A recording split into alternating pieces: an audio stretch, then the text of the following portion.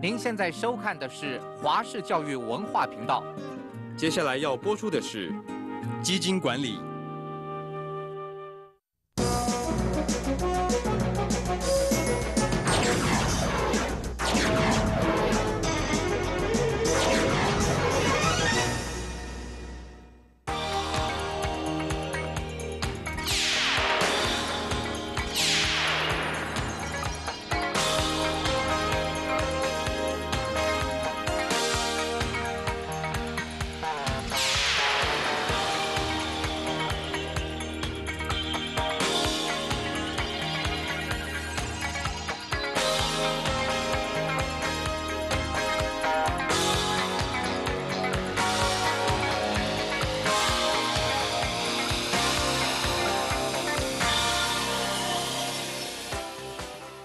各位同学，大家好，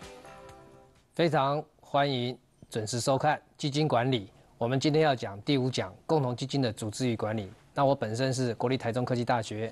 保险金融管理系的阙廷一阙老师。我们这个讲次，我们非常荣幸的邀请到国泰投信行销业务处的谢金峰谢协理来参与我们的讲述。谢谢你，阙老师，各位同学，大家好。我是国泰投信谢庆峰谢协理，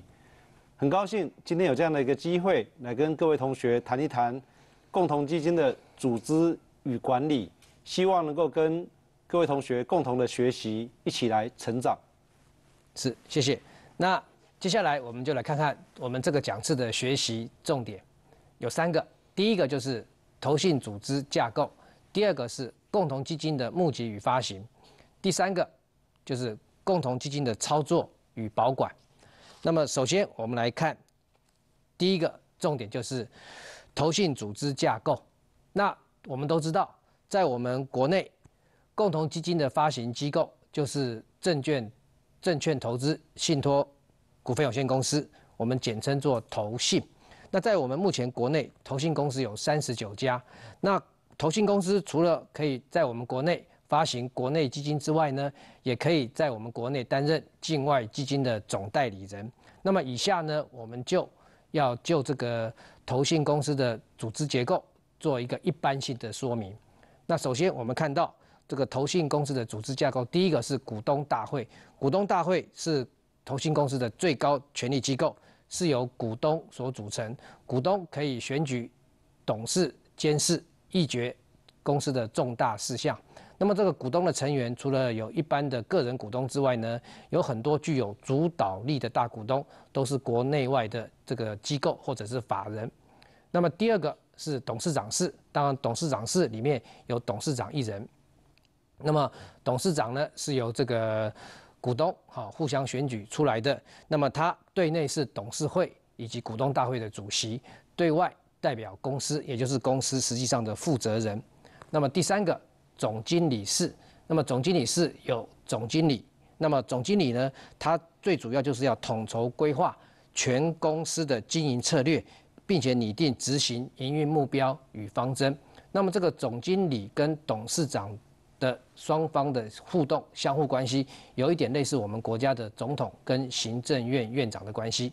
那么第四个是有所谓的行销企划与业务部门。那么这个举凡公司形象的建立，或者是产品的推广开发，以及这个设计宣传，通通都是属于投资啊行销企划与业务业务部门的。那包含还有说跟媒体的联络，或者是跟各个通路商的合作，或者是跟顾客关系的开展。比方说要举办定期或不定期的举办这个投资理财说明会。那么跟这个行销通路商啊建立好这个沟通管道，通通都是行销业务好与企划部门的这个职责。那么第五个是投资研究部门。那么这个投资研究部门呢，可以说是我们整个基金操作的一个这个心脏所在。因为投资研究部门呢，必须要经常对于国内外的总体经济产业情势以及整个全球的经济环境做研究投资的分析。那么把这个研究投资分析的结果做成报告，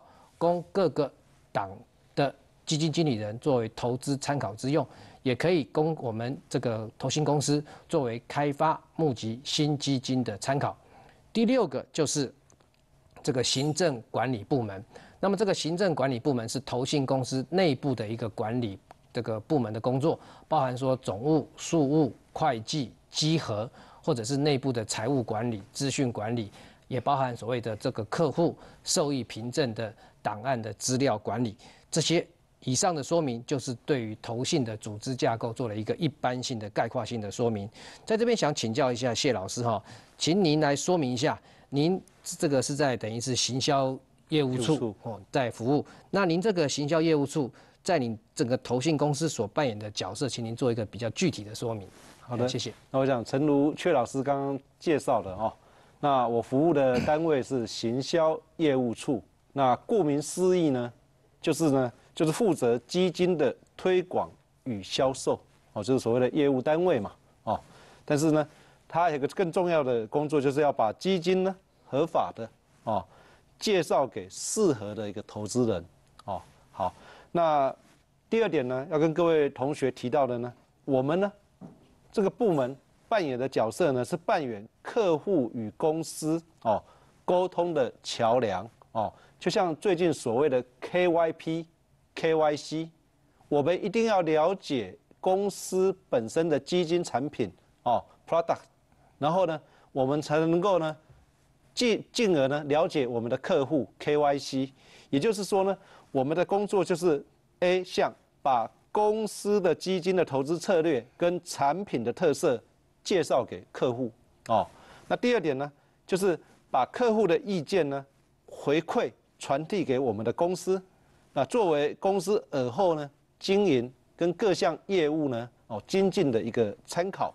那我的主要工作的内容呢，项目呢，哦，是像第三项提到的单纲呢，定期定额，哦，跟投资型保单链接，哦，在整个寿险通路的一个主要推动的一个角色，哦，当然我们公司平常如果每年有募集呢，哦，一到三档的新基金呢，那也是我们的工作项目之一。哦，那以上是我简单的回答。是的，谢谢这个谢老师的说明哈。那听完谢老师的说明，我们就可以知道哈，这个所谓的这个还要重视的包装跟推广。所以一项好的产品的上市，如果透过这个谢老师这个行销业务处这个这种单位的推广跟行销，那么才可以让这个投资人好了解这个新的商品。那么我们当投资人呢，可以从这当中，那么寻找一个适合我们的。这个基金商品来做投资，所以他刚才提到一个 KYC 哈，了解顾客跟 KYP 哈，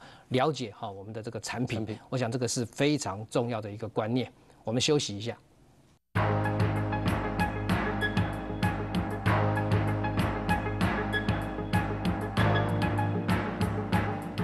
接下来我们来谈的是第二个学习重点，就是共同基金的募集与发行。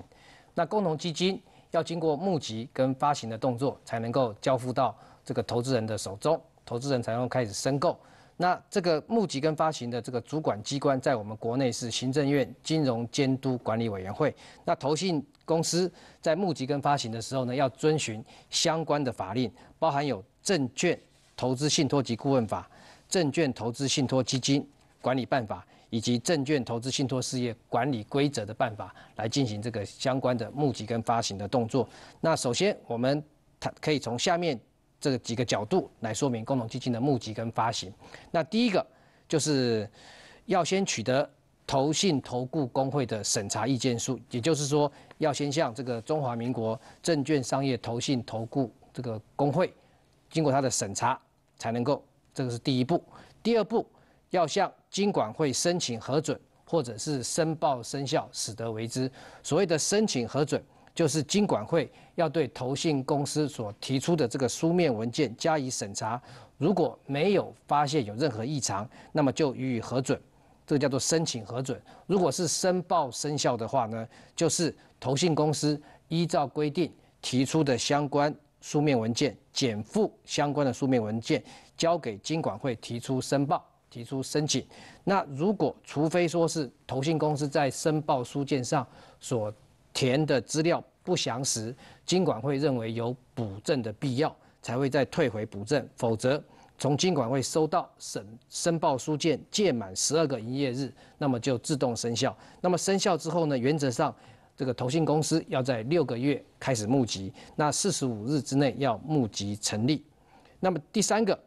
就是要发行受益凭证，好，那么这个受益凭证呢是表彰受益人的权利，那么用这个受益凭证来表彰受益人对该共同基金所享受的权利的一个有价证券。第四个，受益凭证得不印制实体，而以账簿划拨的方式来交付。那这个主要是基于这个交付的快速，还有安全，还有环保。所以目前呢，投资人经常这个购买基金啊，并没有看到这个实体的这个交易这个受益凭证，反而都是交付这个对账单，或者是从这个网络银行上面看到自己申购的这个基金的数量、名称，或者是这个损益状况。那么第五个我们要谈到的就是它这个要遵循相关的法令。那刚刚我们也提到了。这个遵循的法令至少要包括《证券投资信托及顾问法》，还有《证券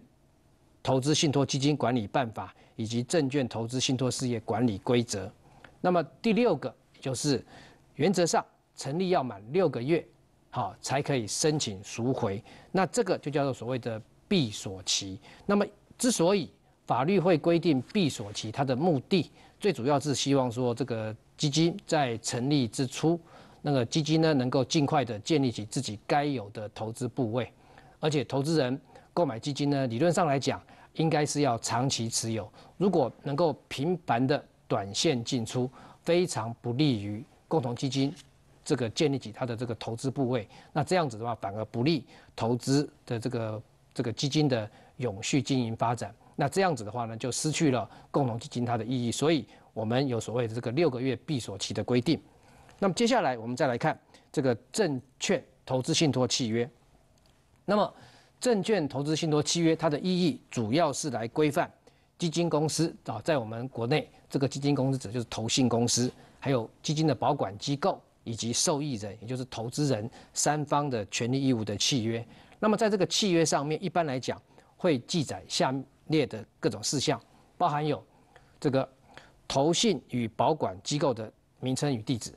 好，第二个就是基金的名称，比方说某某的东协基金或某某大中华基金这个名称。第三个还有定这个存续期间，存续期间啊，就是这个基金这个存在的期间。那么原则上，基金它是永续经营的，所以原则上呢，基金它是不定期限的，大部分基金是如此。但是第二种情况，如果是保本型基金，就会定了一个所谓的期限，例如五年。那同学从这边我们可以知道，顾名思义，保本型基金，我们在上一个讲次也提到，它是属于有这种固定收益的基金。那很可能基金的资产就是投资在这个有这个固定期限的，比方说是债券，比方说债券五年到期了，那这个保本型基金它的任务也达成了，那这个时候呢，它就会结束。所以保本型基金一般来讲才会定期限，例如像五年或者是三年都有可能。那么再来存续期间。什么时候届满呢？就是信托契约终止的时候，存续期间也就终止了。比方说，这个基金这个遭受到这个清算的时候呢，那么也就这个契约终止。好，那另外，证券投资信托契约上面还会登载的有这个投信保管机构、受益人的权利义务与责任。好，再来就是第五个。会登载的就是投资的方针与范围，比方说，同学们可以在这上面可以看到，有些这个基金他会说，哎，本基金的投资方针是为了获取长期资本利得，或者是获取稳定的利益为我的这个投资方针。那么还会计算这个基金的净值的计算方式。那么第七个还会登载证券投资信托契约的终止。那么信托契约终止的原因，可能也有下面几项。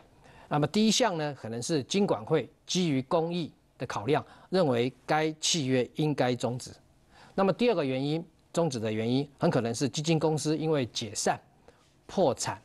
或者是被撤销执照，那么该基金契约也可能会终止。那么第三个原因是保管机构基金的保管机构可能遭受到解散、破产，或者是被撤销执照，那么该基金。这个证券投资信托契约也要被终止。那么第四个，很可能就是受益人会议决议要终止这个契约。那么第五个，或者是这个因为基金的规模缩小，那么达到了清算的标准，那么这个证券投资信托契约也要被终止。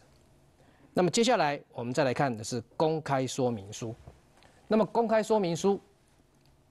是对于投资人来讲，它的意义可以说是非常的重要，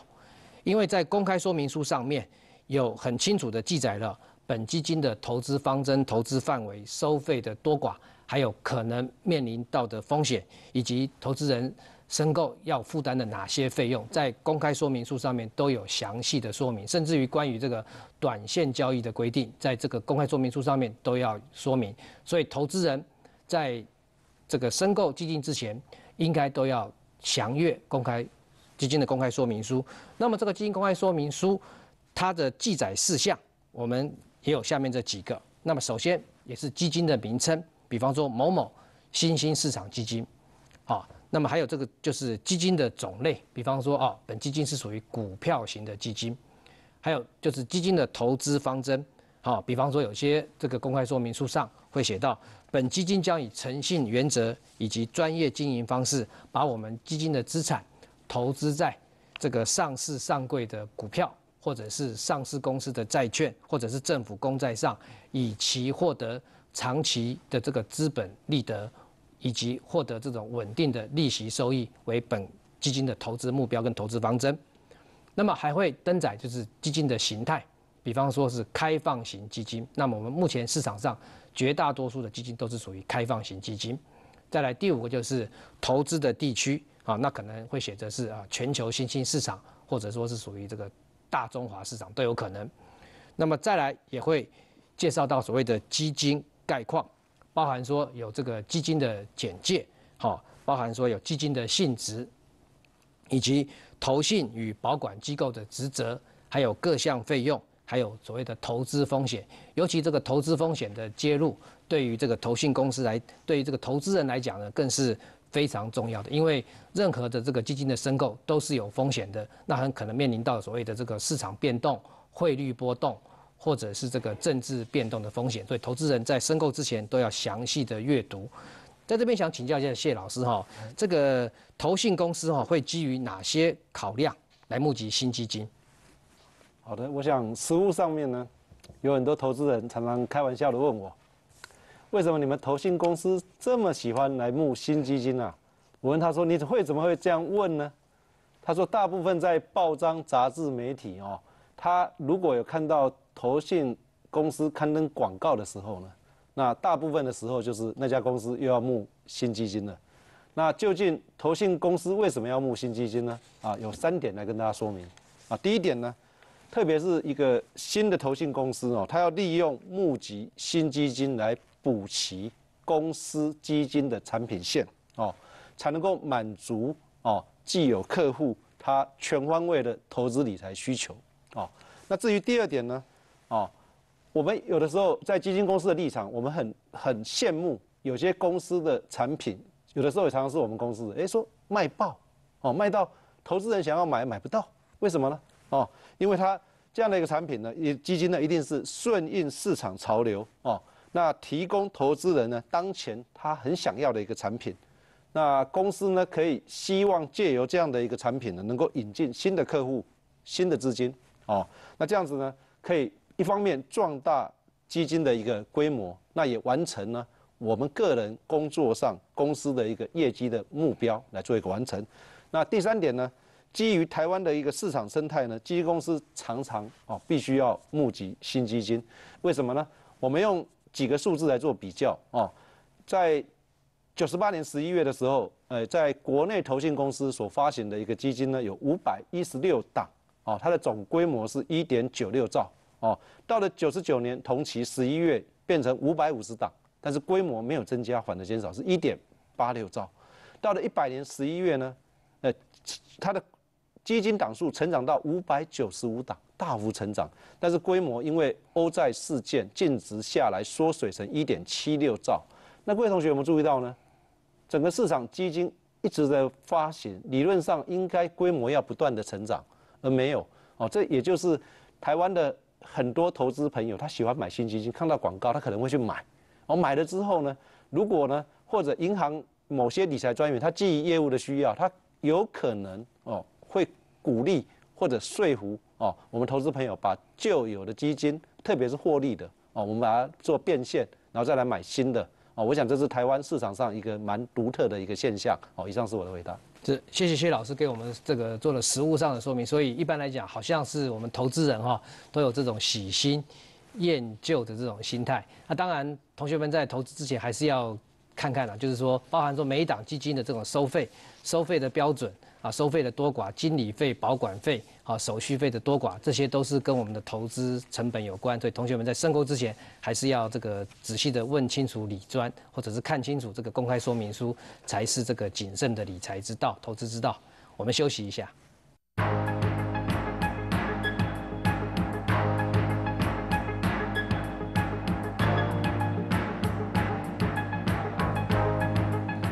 接下来我们再来谈到第三个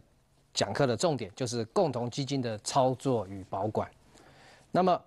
大家同学们这个上了我们几堂这个基金管理的课程之后，应该知道，其实共同基金它基本上它是基于这种保管、这个操作管理跟保管分离的原则。那么有一个共同基金当做等于是操盘手来经理管理我们的基金资产，但是呢，另外要把资产呢交给保管机构。帮我们做一些保管或者是处分交割的事宜。那接下来我们就先来看看第一段，就是说共同基金它的这个操作。那么它的意义呢是这样子的，那么就是操作要基于善良与忠实的原则。那么基于善良与忠实的原则，我想是基金经理公司，也是投信公司或者是基金经理人这个最高的这个道德要求标准。因为否则的话呢，很可能。会有一些中饱私囊、假公济私的这个原则，那这样子长期下来之话呢，就会失去了让投资大众失去了对这个基金购买基金的信心。那么第二个就是不负责盈亏，那么这个不负责盈亏也是基金操作的一个特色。所以之所以要不负责盈亏，但是呢，前提是这个基金公司呢，在这个这个尽到了善良管理人、忠实的义务跟诚信的原则，虽然。这个有尽力了，但是碰到了这种，比方说系统风险、啊天灾或者是人祸发生不可抗力的因素，导致于基金的绩效不不彰，那这样子的这种盈亏啊，赚钱固然是不错，可是亏损的话呢，也是要由投资人来负担啊。那所以投资人，所以在这个投资基基金之前要这个认识。第三个是要收取经理费，那么这个经理费收取的多寡，各档基金也不一样。那同同学们必须要有个观念哈，这个经理费的多寡，在各档的公开说明书上面都会有说明，通常是在百分之一到百分之二之间。但是呢，是不是收取这个经理费的比例越高的，它的绩效就越好？那答案刚好是不一定。好，所以同学们在选择基金的时候呢，千万不要认为说贵的基金就是好的基金，这是不一定的。那么第四个就是要避免道德风险。因为根据前面的说明，同学们应该知道哈，那基金就是要基于这种善良管理人应该尽的注意义务。我们投资人呢，把这个资产、把资金交给专家，但是专家呢，千万不能够利用这个职务上的便利得到的讯息来做出一些这个损人利己的行为。如果这样子下去的话呢，投资人的这个利益跟权益会受到侵害。那长期下来呢，对基金好这个是的发展是非常不利的，所以一定要避免这种道德风险。那么接下来我们再来看看共同基金这个操作的过程。那么首先就是投资分析。那么投资分析当然是第一步，相关的人员要根据这个市场上的重要讯息做出一个评论，那么加以预测，那么做成了投资，哦，而且做成投资的报告，那么供。下面的这个基金经理人去继续的执行。第二个就是投资的决定。那么基金经理人根据上述的投资分析，还有法令的规定，或者是自己的这个判断，那么决定要执行哪一种资产的买进或者是卖出。那么经过核准之后呢，就可以交付执行了。所以第三个是投资的执行。当然，投资的执行呢，就是要有基金经理人跟相关的交易员来进行。那么执行完毕之后呢，要做成一个执行的报表。那么交给基金经理人跟总经理成核之后呢，那么存档。那么第四个就是投资的检讨。当然，这个投资的检讨也要有总经理或者是研究部门的主管，还有基金经理人来共同检讨一下过去，比方说过去这一个月来，我们投信公司基金的绩效为什么会有这种绩效，做一个检讨。那么，并且把这个检讨报告存档，呃，来作为以后继续投资，好或者是研判的一个参考依据。那么接下来第二个要谈到的是共同基金的保管。那么共同基金的保管，这个也是我们共同基金的一大特色，因为就是基于这种经营管理跟保管分立，所以这个保管机构呢，等于是要受到这个投信公司的委托，在我们的这个保管机构，通常是一般的是银行另设专户来保管这个基金，所以它的意义有下面几个。那么第一个就是基于善良与忠实原则，因为它也是在帮我们在保管我们的基金资产，所以呢，保管机构跟这个基金公司呢，等于是互相相互合作、互相分工合作，来替投资人谋求最大的利益。那同学们也都知道，如果基金公司在这种情况之下呢，当然就是要收取所谓的保管费。那么这个保管费等于是我们投资人呢给这个给付保管机构的一个酬劳。那么这个保管费的多寡，在这个公开说明书上面也都会有登载，通常是百分之零点二、零点三左右。那当然，各档基金的这个保管费收取的多寡也不尽相同。那么第三个就是与基金公司相互合作。那么这个保管机构等于是受到投信公司的委托，那么来进行基金的开户、保管、处分跟交割，而且这个保管机构呢，在我们这种情况之下呢，可以，好，然后尽到一个善良管理的应尽的注意。即便基金公司跟保管机构倒闭了，那么基金专户里面的资产仍然不会受到这个债权人的追索，这个对我们投资来讲是一个保障。那么接下来谈到保管机构的作为，第一个就是依照基金经理人的指示来进行资产交割，第二个就是清算的时候呢，依照比例。把剩余的基金资产分派给受益人。那么第三个是依照法令来强制处分。在这边想请教一下谢老师哈，我们这个投资人哈，在买基金的时候哈，要如何来评断基金经理人的素质？好的，我想我建议同学，我们可以用一个最简单的法则哦来做一个评断。那